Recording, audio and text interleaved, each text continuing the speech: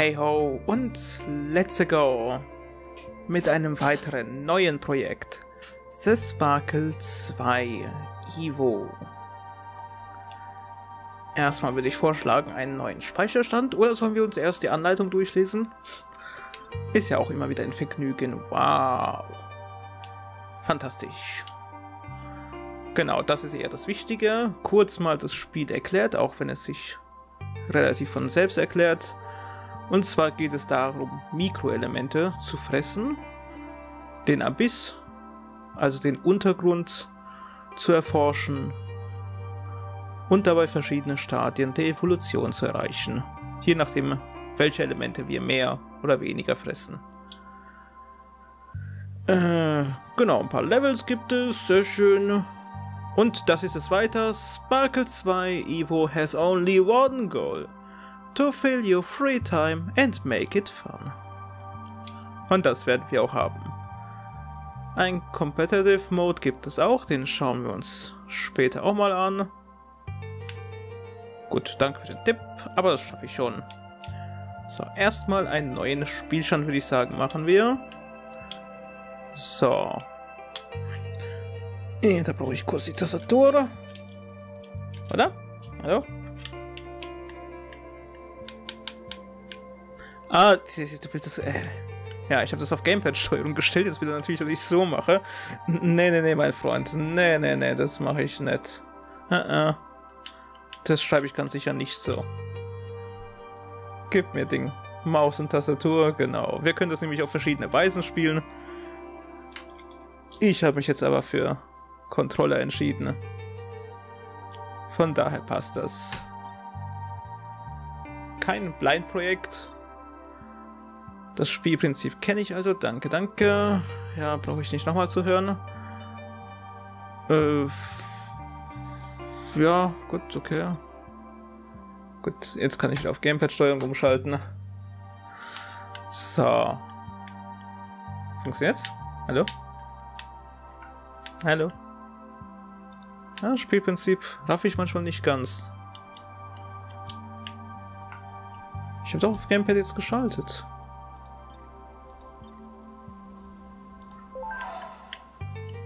Ah, jetzt funktioniert's. Okay. Super. Äh, da, da, da, da. Gut, wir können nicht so viel machen. Das heißt, beziehungsweise steht hier noch was Neues. Schauen wir uns jetzt das Menü an, bevor wir das sehen. Das sind, gut, die allgemeinen Sachen. Danke, danke. Ah, Competitive Mode bitte ausschalten. Das will ich gerade nicht. Ah, hier gibt es noch was zu sehen. Genau, und zwar unseren, ja, Evolutionsfortschritt. Natürlich alles bei 0%. Hier gibt es verschiedene Skills, die wir erlernen können. Und ja, auch verschiedene Fähigkeiten. Aber die schauen wir uns bei Zeiten genauer an. Jetzt würde ich sagen, bevor ich viel zu lange für die Vorerklärung brauche, nein, danke, starten wir ins erste Level.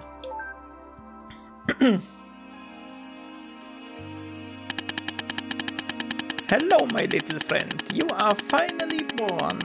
Ah, look at you. A fresh sparkle of life. Do you know how to move?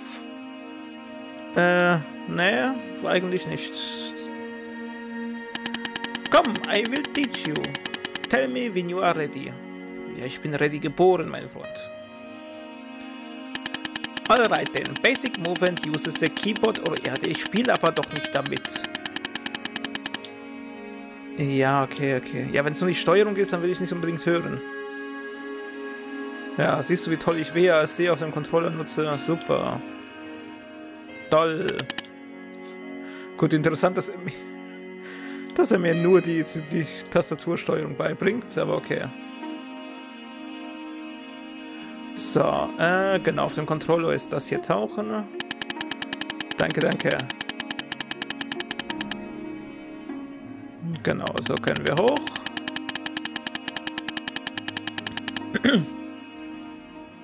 Natürlich, ich gehe immer tiefer.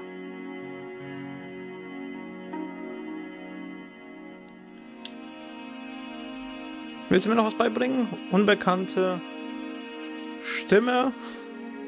Ich finde es aber gerade schön hier. Achso, vielleicht soll ich deeper und deeper gehen. Ja, danke.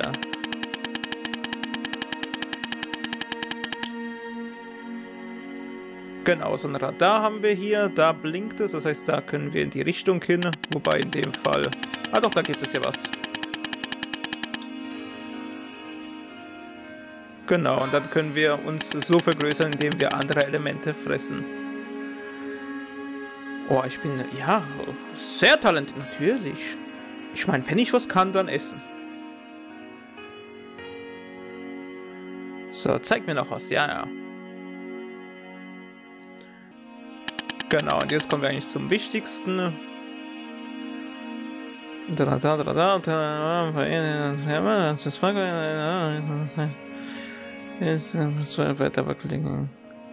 Okay, danke. Genau, und zwar gibt es nicht nur neutrale Dinge zu fressen, wie jetzt im Tutorial, sondern eben diese spezifischen drei Farben. Und je nachdem, von wem wir mehr fressen, desto weiter entwickeln wir uns. Äh, ich würde vorschlagen, fangen wir mit dem roten an. Aber natürlich entwickeln wir uns im Laufe der Zeit sowieso weiter. Oder soll ich jetzt gerade drei fressen? Ich gucke ganz kurz, die Special Powers habe ich noch nicht. Gut. Dann zeigen wir auch mal grün.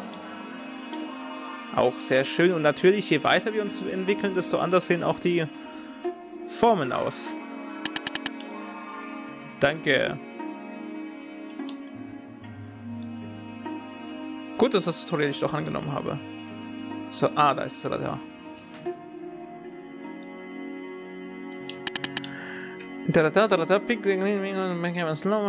Genau, hier wird erklärt, was die Farben auch bringen. Das heißt, das Grüne macht mich zu einem langsamen und ruhigen Typen. Das Rote macht mich zu einem aggressiven Jäger. Und ja, so ein Mittelding ist quasi das Blaue. Das heißt, von allem gibt es was. Jetzt sollen wir die Entscheidung treffen. Welches nehmen wir? Ich wollte eigentlich das rote. Auch wenn ich eigentlich nicht so der Aggressive bin. Äh, ich überlege, ich überlege. Natürlich das ganze Spiel hat es keine Auswirkung. Das heißt, wir können, je nachdem, wie viel wir von was fressen, auch die Entscheidung treffen. Ich würde vorschlagen, nehmen wir jetzt das Grüne, weil das mag ich am meisten, tatsächlich, soweit ich weiß. Ja, ja, ich weiß, natürlich ist die beste Entscheidung meines Lebens. Dankeschön. Jo, das war schon das erste Level. Gut, war halt nur Tutorial, mehr nicht.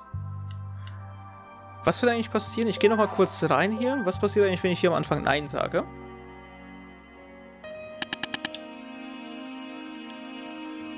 Äh... Achso, es ist nur, damit ich die erste Entscheidung treffen kann, quasi. Okay, gut, okay, gut, gut, gut, gut, gut, gut, gut, gut, gut, gut, gut.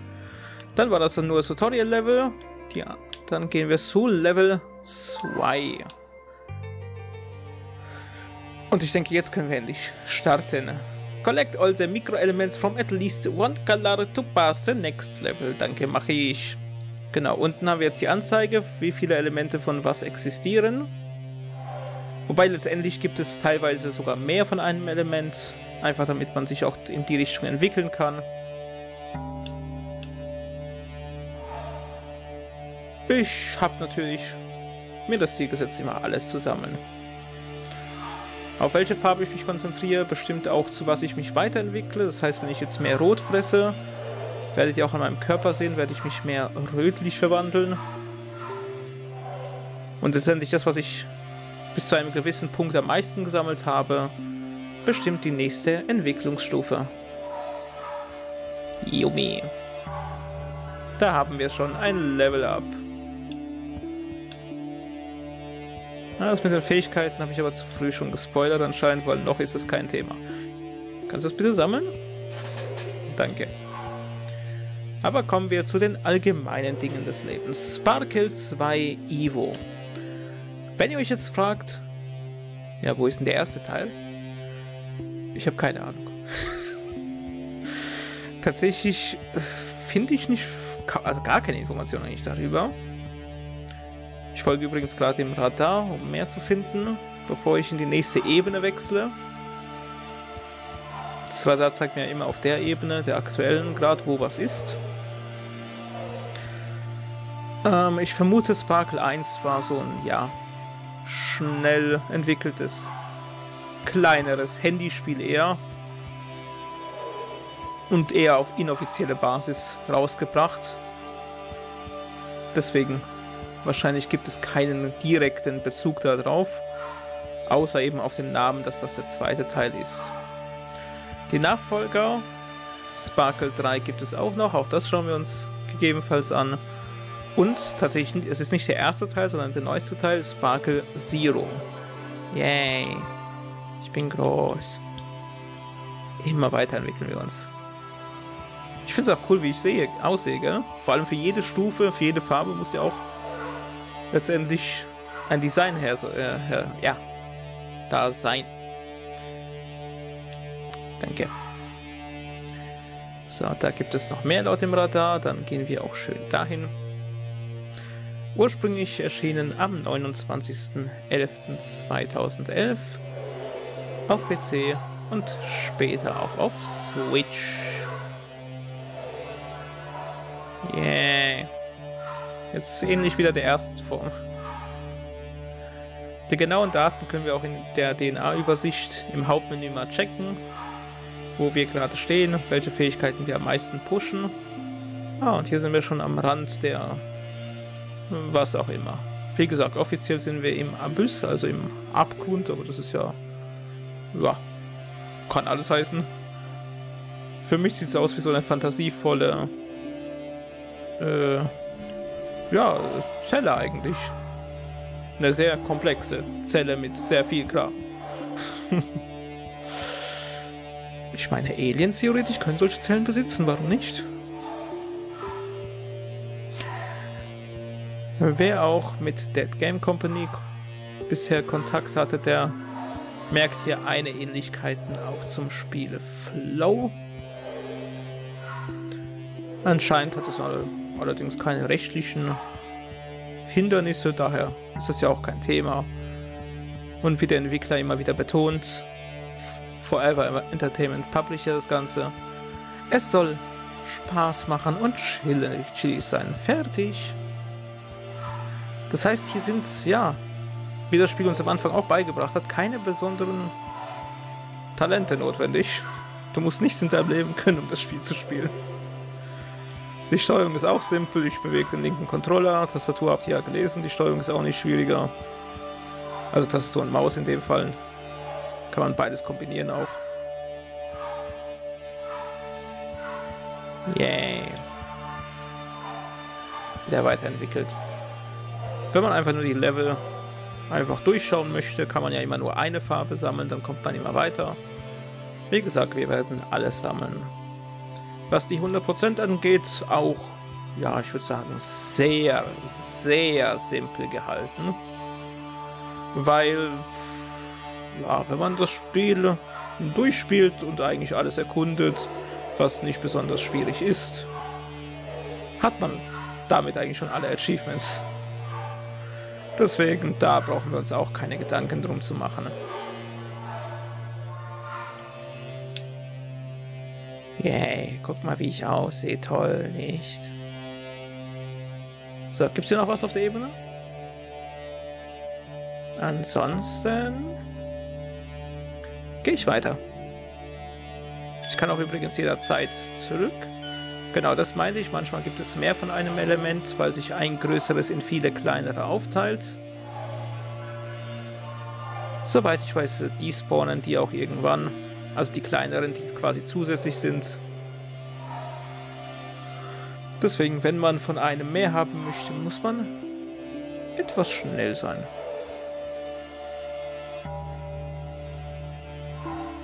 Yummy. Ihr werdet auch merken, hier können wir schön entspannen. Viele entspannte Spiele hatten wir schon. Neben Flow natürlich. Ich habe auch an Flower gedacht. Letztendlich fand ich es aber eher spannend als äh, chillig. Obwohl mich das komplett überrascht hat. Aber natürlich das, ich sag mal, größte von den drei von Dead Game Company.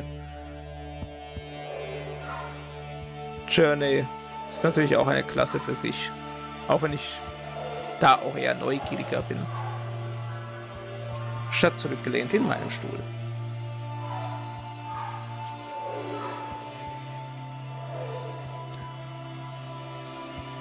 Ihr werdet merken, ihr könnt euch auch ruhig zurücklehnen und chillen, denn viel wird hier nichts Aufregendes passieren.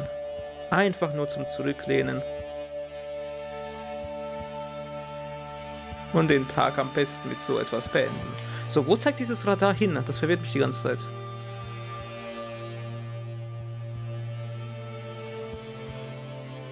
Ist es hier irgendwo drin? Ich sehe es halt nicht. Äh, continue, please. Genau, wir haben alle grünen Dinger gesammelt. Das heißt, wir können theoretisch ins nächste Level. Aber wie schon gesagt, gehen wir erstmal weiter. Und so erkundigen wir auch. Erkundigen wir? Erkunden wir. Viele neue Bereiche. Ihr merkt auch schon, die Gegend ist nicht ganz leer. Ein paar, gut, was soll das sein? Keine Ahnung. Ich weiß halt nicht, wie groß wir sind. Stellt euch vor, wir sind kein Mikroelement, wie das ganze Spiel immer mitteilt, sondern wir sind so ein Riese. Gut, aber ich denke schon, wir sind sehr, sehr klein. Das heißt, das hier sind keine Pflanzen, sondern... Oder wenn, dann der mikroskopische Anfang davon. Blau haben wir auch, dann holen wir uns noch Rot. Im Moment müssen wir uns noch ein bisschen auftunen. Yay. Aber die Levels werden nicht nur daraus bestehen, einfach nur diesen Krimskrams zu sammeln. Danke. Damit haben wir das erste Level, äh, also ja doch, erste richtige Level geschafft. Gucken wir mal kurz in unserer DNA-Anzeige. Den Competitive Mode zeige ich euch auch noch, keine Sorge. Genau, hier sehen wir es auch schon. Beim, wir sind noch in der Stage 1, haben nicht besonders viel uns entwickelt. Ihr seht, je nachdem, was ich gesammelt habe und wann ich es gesammelt habe, haben wir andere Fähigkeiten. Das heißt Speed, was wir eher durch das Rote bekommen, haben wir 15% Verteidigung, oder? Ne, Deafness. Was heißt denn Deafness?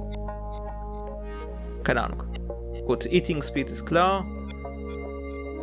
Gut, aber so richtige Skills haben wir noch nicht tatsächlich. Da seht ihr, alles ist noch auf 0%, das kommt noch.